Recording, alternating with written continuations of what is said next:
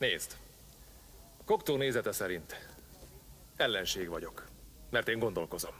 Mert olvasok, hiszek a szólásszabadságban, a szabad választásban. Olyan fazon vagyok, aki szeret beülni egy késdobálóba, és kérni egy jó kis zsíros sztéket, vagy egy cupágos körömpörkölt egy krumplival, és kóviubival, imádom a koleszterin, szeretem a szalonnát hagymával és a tojáslátottát. Kurva nagy kubai szivart akarok szívni a nem dohányzó helyeken. Mesztelenül akarok rohangálni az utcán zöldre festett farokkal és olvasni a Playboy magazint. Miért? Mert akkor éppen az esik jól, érted, haver?